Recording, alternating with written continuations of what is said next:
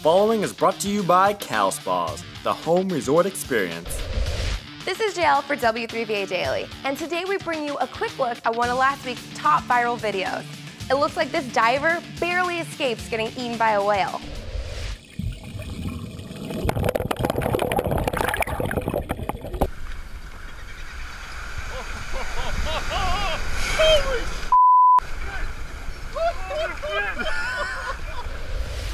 A novice diver!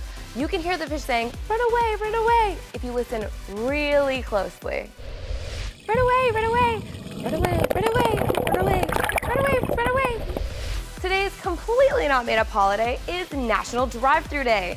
In honor of this fast food holiday, nominate your favorite drive-thru prank videos on W3VA. Make sure you're watching this video on W3VA.com so you don't miss out on the best video content to watch, vote, and win.